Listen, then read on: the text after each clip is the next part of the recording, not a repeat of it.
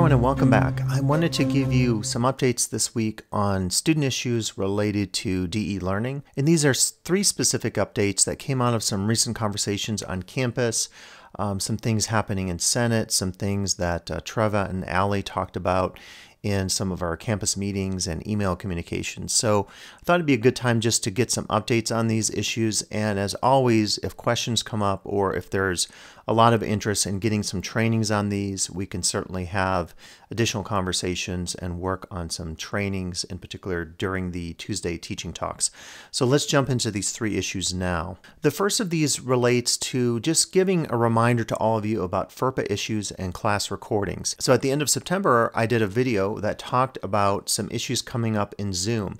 In particular, if you are wanting to record a class lecture of a live Zoom session that involves st students appearing in any of your class recording. It could be images of them, videos, it could be their names on the Zoom gallery view, it could be um, personal information that might show up if you were, for example, sharing um, a live video of a class discussion that shows the images of the students in Canvas or shows your roster at any level. If you um, are deciding to use that same video in a class, let's say next quarter or even a year from now, there could be FERPA violations involved in sharing that video again if you have likeness or any personal class information shared about your students. So what I really recommend to you is to take a look at this video. It's time indexed as you see here, fairly lengthy, but I think it gives a good opportunity to consider some ways of protecting ourselves proactively prior to doing a live Zoom session if you plan to record that session and then share it with another class in the future, potentially violating FERPA. There are also some things you can do in post-production in technology as far as redacting names and even the video likenesses of students. That involves a little bit more technology and we could have some conversations um, privately to talk about how I could help you facilitate some of those um, redactions of student information to protect student privacy from uh, FERPA violations. So more to come on this. Definitely check out the video. I have it linked in this video here in the comments on YouTube. If you want to take a look at that, we can have more conversations later. So, and really that relates to this second issue also connected to privacy. So the two issues that have come up um, specifically are legal opinions from the Chancellor's Office. And I'm reminded of some of the legal opinions that have come out of the Chancellor's Office in the past. There was one in particular, I want to say it was like 15 or even maybe more years ago, where the chancellor's office gave an illegal uh, gave a legal opinion on whether or not students could be failed for plagiarizing in a class.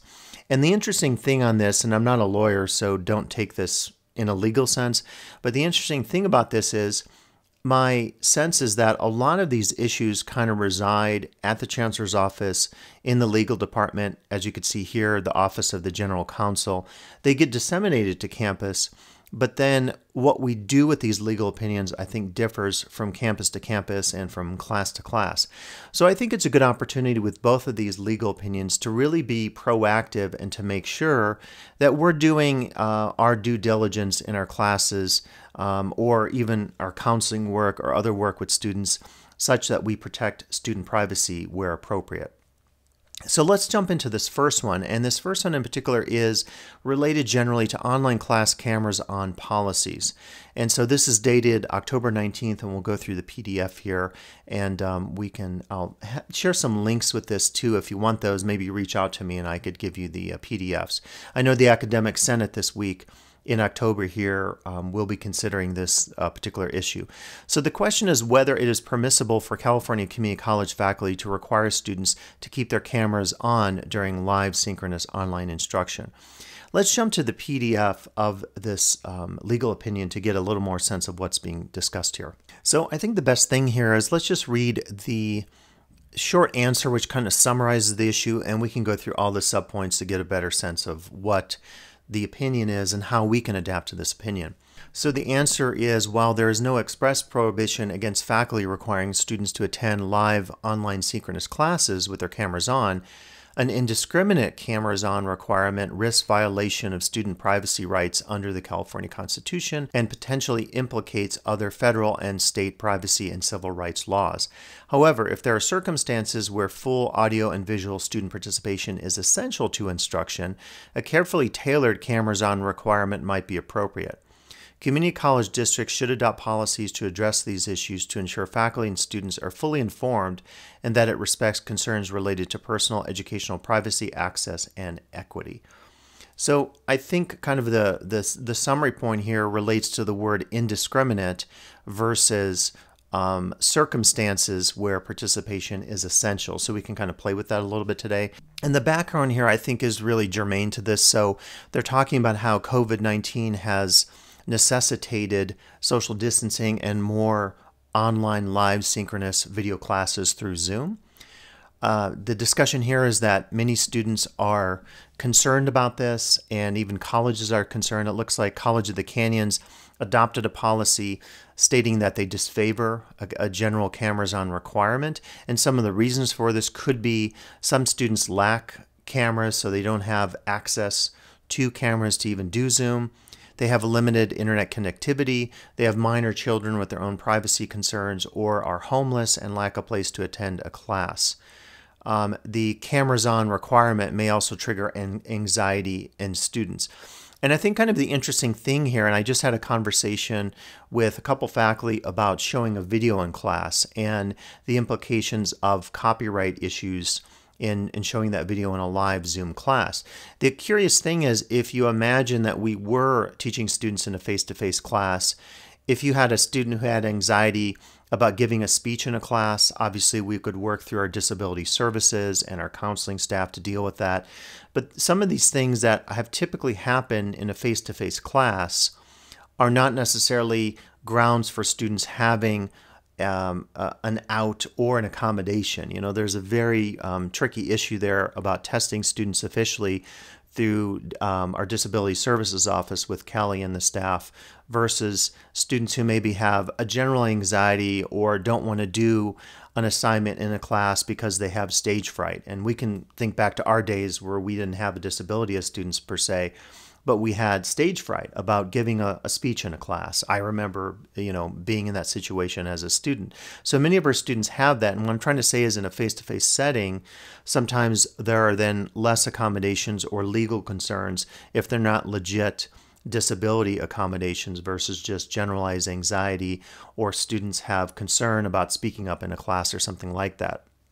So it's kind of curious how the chancellor's office is defining a Zoom class as not face to face. And I think some folks who work in the technology fields are actually saying, because the Zoom class is live, it is actually face to face. We don't define it traditionally as a face to face class that happens in a physical setting but there's presence there in terms all in terms of all of us engaging at the same time in that class. So that's kind of more just a technological or pedagogical issue for us to address in the future. It sounds like some colleges are saying though that specifically we should avoid having a general cameras on requirement. Um, this gets into the analysis and kind of balances um, some issues of academic freedom. So it says here, academic freedom is an important foundation of higher ed. It's not absolute and may be limited by community college districts to advance other competing policy interests. And so to me, uh, this sounds like the idea is saying that even though there is academic freedom and maybe you want to require live sessions in a class, and I'm particularly thinking about a speech class, um, some of that may be uh, trumped by these other concerns happening legally. So we may be in a situation uh, as faculty where we have to think about ways around this and being more flexible in some of the requirements that we are um, uh, asking of our students with our classes. There's also a right to privacy under the California Constitution, and I would extend to that, you know, there are the FERPA issues as well.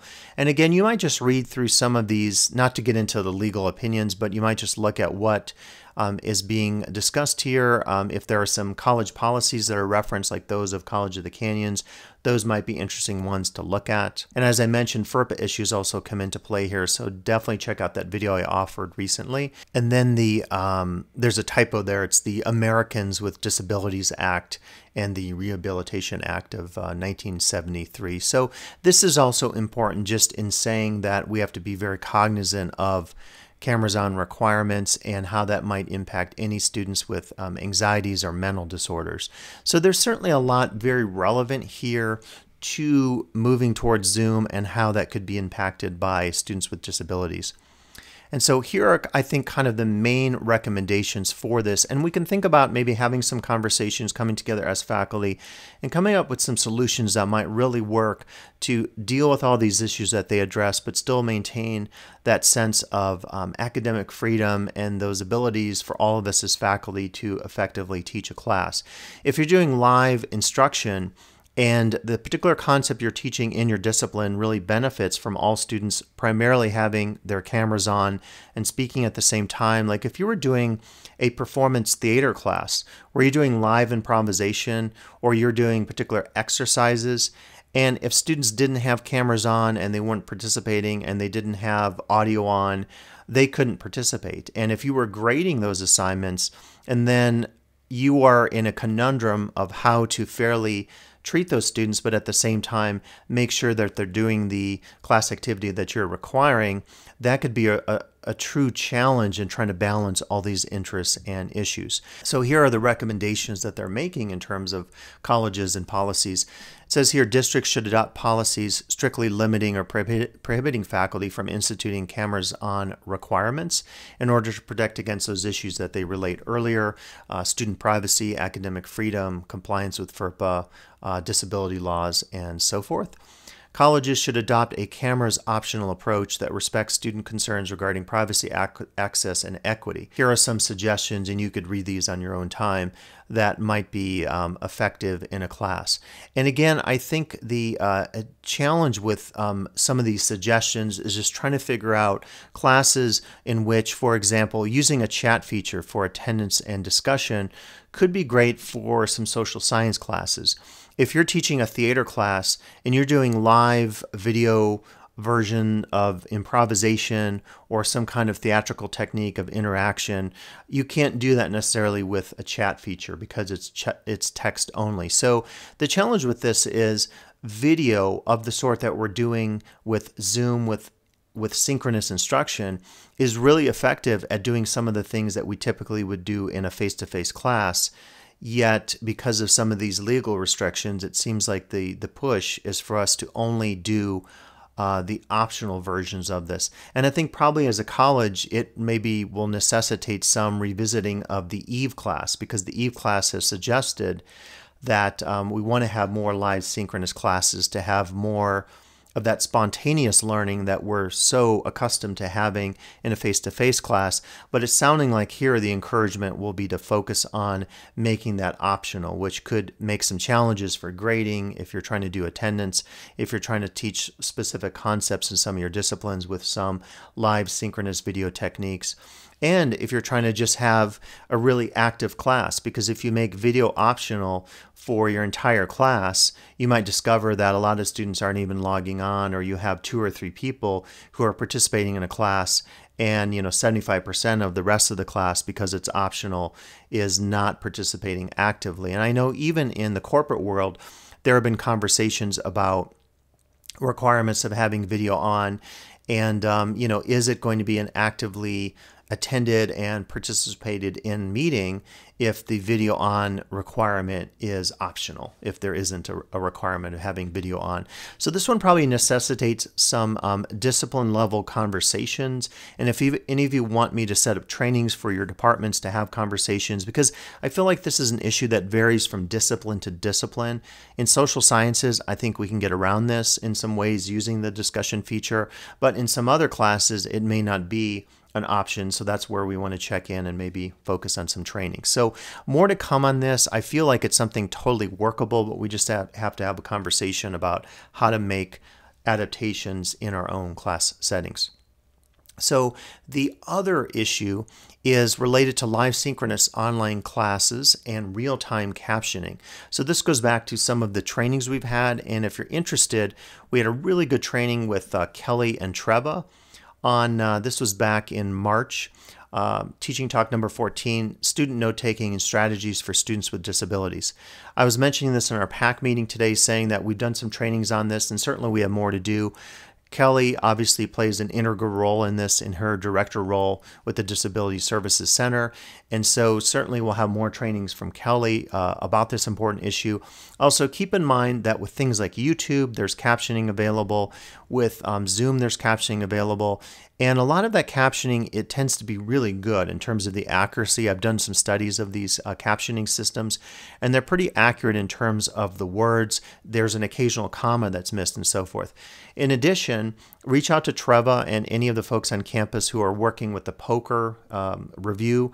That's the peer online class review of your DE classes. And one of the key components there is a specific area in our rubric on disability uh, requirements and accessibility in your DE class. So I feel as an institution, we're doing a lot with this. So that's kind of the good news to pat ourselves on the back about.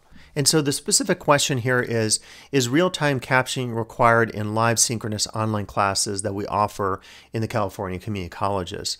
And the answer here is that an auxiliary aid or service is required if the class includes deaf or hearing impaired students. Section 504 of the Rehabilitation Act of 1973, the Americans with Disabilities Act, and related provisions of state law require auxiliary aids or services to be provided to deaf and hearing impaired students to ensure that they are able to participate in their educational program. In most cases, this requirement will be satisfied by the provision of real time captioning and live synchronous online classes. However, community colleges must, must give primary consideration to the choice of aid or service requested by deaf or hearing impaired students and weight such requests against the burdens they would impose upon the college program. There's a really good background on this, so you can certainly read through all this and it talks about the different technologies available real time, speech to text, open captions, closed captions, offline captioning. And so this will give you some information about that. This gets in into the um, ADA and the Rehabilitation Act in the specific section that you can look over. And this talks a little bit more about the Americans with Disabilities Act. And so it's saying here that in most cases it seems like what we offer through Zoom, what we offer through YouTube, um, Canvas Studio seems to be pretty good, sufficient to um, offer students effective opportunities to participate for those students with disabilities in their online classes. What it's saying here, though, there must be primary consideration. So if you have a student who reaches out to you and says, you know, the captioning isn't good enough in Zoom or in Canvas Studio. That's the point in which you make a connection to Kelly and, and Disability Services Office and you specifically ask, okay, we might need a live interpreter for this class you could work with her and then get those services when needed, depending on when you're doing a live Zoom.